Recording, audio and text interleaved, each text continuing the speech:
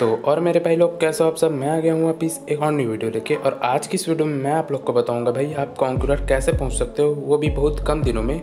तो इसी टॉपिक पे मैं आज वीडियो बनाया हूँ। तो चले बिना किसी टाइम वेस्ट के वीडियो को शुरू करते हैं।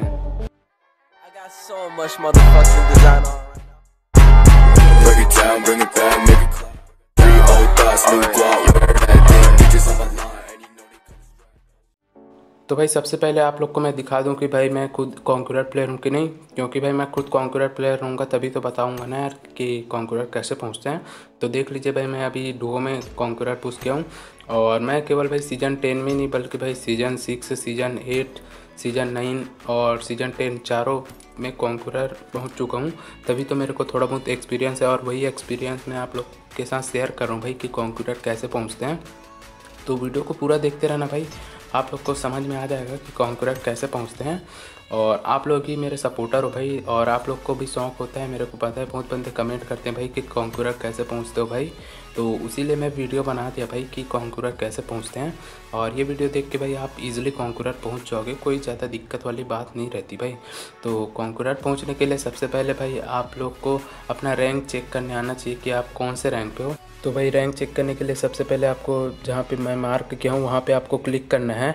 तो वहाँ पे जैसे ही आप क्लिक करोगे, एक बैनर टाइप ओपन हो जाएगा ऐसे टाइप तो जिसमें आप रैंक पुश कर रहे हो, जैसे मैं अभी डुओ में क्यों तो मैं डुओ सेलेक्ट कर लेता हूँ। तो डुओ सेलेक्ट करने के बाद भाई मेरा रैंक दिखाने लगेगा। यहाँ पे देख सकते हो मेरा रैंक अभी 603 है और सुबह को भाई मेरा रैंक चल रहा था 302 तो मेरे को कॉन्कुलर मिल गया। मतलब अगर आप सुबह के साढ़े पाँच बजे भाई सुबह के साढ़े पाँच बजे रोज़ टायर रीसेट होता है और सुबह के साढ़े पाँच बजे अगर आप टॉप फाइव हंड्रेड के अंदर में रहते हो, अगर आपका रैंक पाँच सौ के अंदर में रहेगा तो भाई आपको कॉन्कुरर ईजिली मिल जाएगा। एस में पहुँचने के बाद तो आपको भाई टॉप फाइव हंड्रेड में जाना पड़ेगा। इसके लिए कॉन्कुलर चाहिए तो। तो उसके लिए भाई आपको यहाँ पे राइट साइड में देख सकते हो मैं मार्क किया हूँ तो उस पॉइंट को बढ़ाना पड़ता है। जैसे जैसे ये राइट साइड का पॉइंट बढ़ते जाएगा, जैसे मेरा अभी चार हज़ार पाँच सौ संतावन पॉइंट है तो जैसे जैसे मैं इस पॉइंट को बढ़ाते जाऊँगा भाई तो ये मई रैंक जो दिख रहा है ना, वो कम होते जाएगा। और एक टाइम ऐसा आएगा भाई, जब मैं top five hundred top hundred में भी पहुँच जाऊँगा तो इसको कैसे बढ़ाते हैं, वो भी मैं दिखा देता हूँ आपको। तो भाई जैसे ही आपका पबजी लाइट का गेम इंड होता है तो कुछ इस प्रकार का स्क्रीन में बन के आता है। तो यहाँ पे आप देख पा रहे हो भाई टोटल रेटिंग प्लस तीस करके लिखा हुआ है। तो वो कहाँ पे जुड़ता है आपको पता है? जो प्लस तीस करके है ना, वो कहाँ पे जुड़ेगा? जैसे मैं एक गेम खेला तो उस पर मेरा ये प्लस तीस हुआ। तो वो जुड़ेगा भाई, ये चार हज़ार पाँच सौ संतावन पॉइंट दिख रहा है ना, उस पर जाके ये प्लस तीस जुड़ जाएगा। मतलब जैसे ही आप गेम जीतते हो या फिर हारते हो तो उसमें जो प्लस या फिर माइनस होता है, वो इसी में आके जुड़ता है या घटता है। तो ये जितना ज़्यादा बढ़ेगा ना आपका, जितना मतलब राइट साइड का पॉइंट चार हज़ार पाँच सौ संतावन जो मेरा पॉइंट है, वो जितना ज़्यादा बढ़ते जाएगा, वो माई रैंक उतना जल्दी कम होते जाएगा। तो शायद आपको कुछ समझ में आ गया होगा और कुछ भी डाउट हो तो मेरे को पूछ सकते हो आप। अब कई बंदों को तो भाई ये चीज़ पता है, लेकिन कई बंदों को नहीं पता है भाई ये चीज़ कि कैसे अपना रैंक चेक करते हैं। तो इसको बताने के लिए भाई ये मैं पूरा डिटेल से वीडियो बना दिया। अब मेन टॉपिक अपना ये है भाई कि कॉन्क्यूरर पुश कैसे करें? मतलब हमेशा प्लस कैसे करें? इस चीज़ को जानना बहुत ज़रूरी है। तो चलिए वो भी मैं आप लोग को बता देता हूँ। तो भाई कॉन्कुरर पहुँचने के भाई मैं आप लोग को पाँच टिप्स बताऊँगा जिसको आपको फॉलो करना है। और ये पाँच टिप्स अगर आप फॉलो कर लेना भाई तो आपको कॉन्कुरर पहुँचने से कोई नहीं रोक सकता। तो सबसे पहला टिप्स ये है भाई कि आपको सबसे पहले डिसाइड करना आना चाहिए कि आपको उतरना कहाँ है। जैसे कि ये मैप देख पा रहे हो भाई तो इसमें प्लेन जा रहा है भाई वेस्टा से वेयर हाउस की ओर। तो भाई यहाँ पर जितने भी हॉट ड्रॉप है, जैसे old basin third east port और वेयर हाउस तो ऐसे जगह पे नहीं उतरना है भाई, जहाँ पे जहाँ से प्लेन जा रहा हो, क्योंकि भाई जहाँ से प्लेन जाता रहता है भाई, वहीं पे बंदे अक्सर उतरते हैं जहाँ से प्लेन जाते रहता है। और वहीं पे अगर आप उतरोगे तो भाई हो सकता है कि आपके पास गन ही ना मिले और भाई बंदे आपके ऊपर रस करके आपको मार दे तो भाई आपका माइनस लग जाएगा ना तो भाई गलत हो जाएगा। रैंक पुश के टाइम आपको भाई वहाँ उतरना है, जहाँ से भाई प्लेन थोड़ा दूर हो, जैसे कि अभी प्लेन जा रहा है भाई वेस्टा से, क्या बोलते हैं वेयर हाउस की ओर तो आपको प्लेन से थोड़ा दूर उतरना है। जैसे आप उतर सकते हो भाई फैक्ट्री चर्च है और जंकी यार्ड है और पायलट प्लाजा है। तो मतलब प्लेन से थोड़ा दूर उतरना है।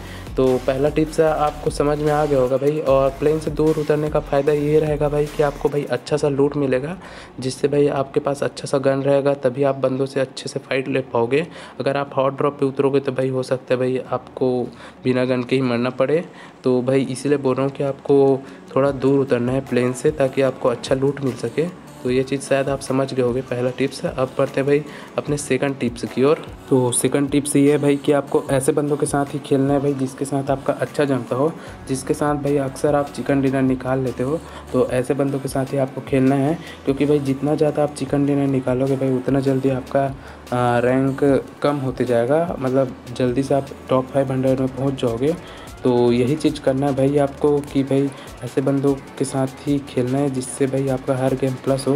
तो सेकंड नंबर का टिप्स भी आपको समझ में आ गया होगा। तो अब हम बढ़ते हैं भाई थर्ड नंबर के टिप्स की ओर। तो भाई थर्ड टिप्स ये है भाई कि आपको सर्वाइव करना आना चाहिए, क्योंकि सर्वाइव के ही ज़्यादा प्लस बनते हैं भाई। मतलब जैसे आप top two top three top four ऐसे आते हो भाई तो आपका ज़्यादा से ज़्यादा प्लस होता है। टॉप वन में तो भाई मतलब चिकन डिनर निकालने पे एकदम ज़्यादा प्लस होता है। तो भाई, अगर आप चिकन डिनर नहीं भी निकालते, लेकिन अगर बहुत ज़्यादा टाइम तक सर्वाइव करते मतलब hashtag two hashtag three आते हो तो भी आपका बहुत ज़्यादा प्लस होता है। तो आपको हर गेम में कोशिश करना भाई कि आप हमेशा टॉप टेन के अंदर ही पहुँच जाओ, क्योंकि टॉप टेन के अंदर पहुँचने पे भाई प्लस अच्छा होता है। और उससे पहले आप मर जाओगे तो भाई हो सकता है आपका माइनस भी हो जाए।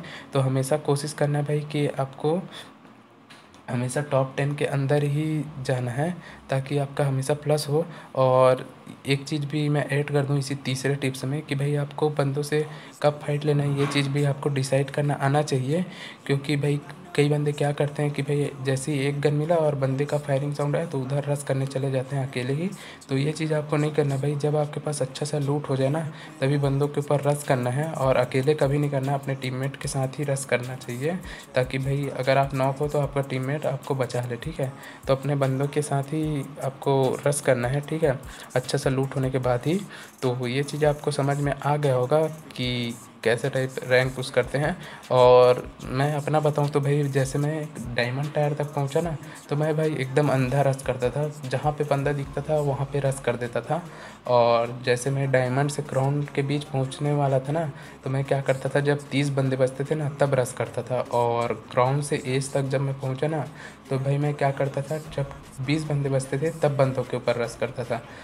और ये सब चीज़ क्यों करता था भाई मैं? ताकि मैं भाई ज़्यादा से ज़्यादा टाइम तक गेम के अंदर रहूँ और भाई मेरा प्लस ज़्यादा हो। तो ये चीज़ आप कर सकते हो आप भी।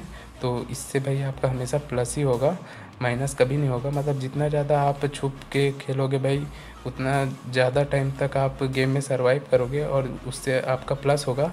तो ये चीज़ आपको समझ में आ गया होगा। तीसरा टिप्स भी, आप बढ़ते भाई चौथे नंबर के टिप्स की ओर। तो चौथा नंबर का टिप्स ये है भाई कि हमेशा आपको ड्रॉप का गन लेने की कोशिश करना है, क्योंकि भाई ड्रॉप में भाई एकदम हेवी गन होते हैं, जैसे कि भाई A W M M K चौदह और आर पी जी ग्रोजा ऐसे टाइप गन होते हैं जो भाई बंदों को एकदम ईजिली कम समय पे ही मार देते हैं और ऐसे गन आपके पास रहेगा तो भाई बंदों को आप ईज एकदम ईजिली मार दे मार सकते हो। तो हमेशा ड्रॉप लूटने की कोशिश करना चाहिए और ड्रॉप के पास भाई आपको अकेले नहीं जाना है। गाड़ी लेके अपने टीममेट के साथ जाना है ताकि कोई बंदा भाई ड्रॉप पहले से लूट लिया हो या फिर ड्रॉप के पास कोई बंदा हो तो आप वहाँ से गाड़ी से एकदम ईजिली जल्दी से निकल पाओ। या फिर अगर फाइट लेना हो तो भाई आपका टीममेट भी आपके साथ रहेगा तो आपको थोड़ा मदद मिलेगा, ठीक है? तो चौथा टिप्स भी आपको शायद समझ में आ गया होगा।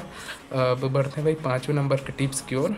तो पाँचवा नंबर का टिप्स सबसे ज़्यादा इंपॉर्टेंट चीज़ है भाई रैंक पुश के टाइम रैंक पुश के टाइम भाई अक्सर बंदे घबरा जाते हैं कि भाई अगर मैं बंदों से फाइट लिया तो मैं भाई मर जाऊँगा।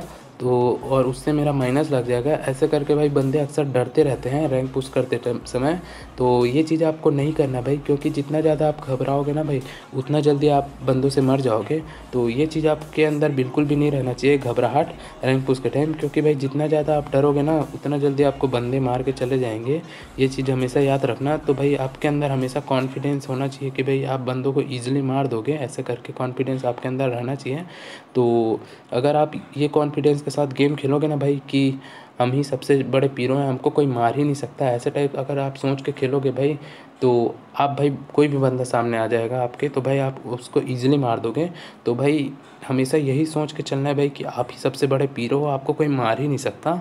ऐसे टाइप सोच लेके खेलना है भाई गेम रैंक पुश के टाइम ताकि कोई भी बंदा आपके सामने आए ना भाई तो आप उसको ईजिली मार दो।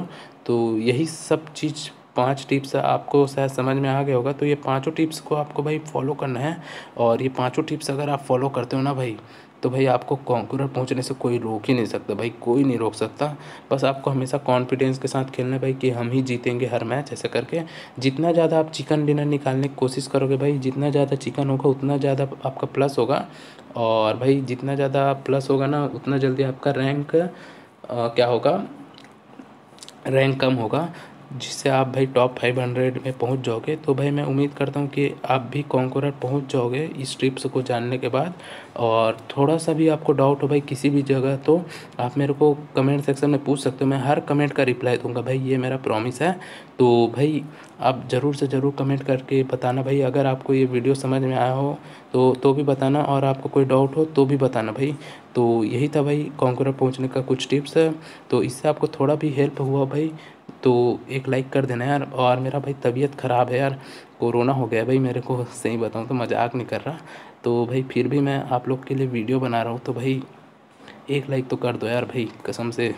बहुत मेहनत लगा यार ये वीडियो बनाने में। मैं तो बोल भी नहीं पा रहा हूँ भाई, मेरा तबीयत इतना ज़्यादा ख़राब है। फिर भी मैं ये वीडियो बना दिया आप लोग के लिए। तो भाई एक लाइक तो करना बनता है भाई तो यही था भाई आज का वीडियो। मैं मिलता हूँ आपसे नेक्स्ट वीडियो में। तब तक के लिए टाटा बाय बाय जय हिंद, वंदे मातरम।